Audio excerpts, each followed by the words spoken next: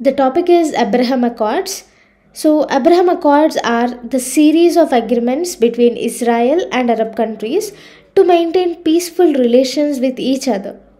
The name Abraham is derived from the prophet Abraham, who is the root of the three religions that is, Islam, Christianity, and Judaism. So, Abraham Accord was introduced by the US to make peaceful relations between Israel and Arab countries. Okay, so to overcome Israel Palestine conflict and to maintain peaceful relations between Israel and Arab countries, this agreement was signed.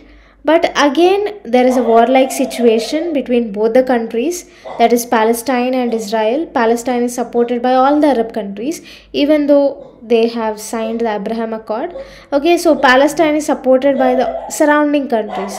So uh, this is not very much effective, even though the numerous Ag- Abraham Accords were implemented.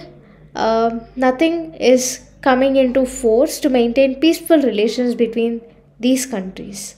So, this is all about the Abraham Accords.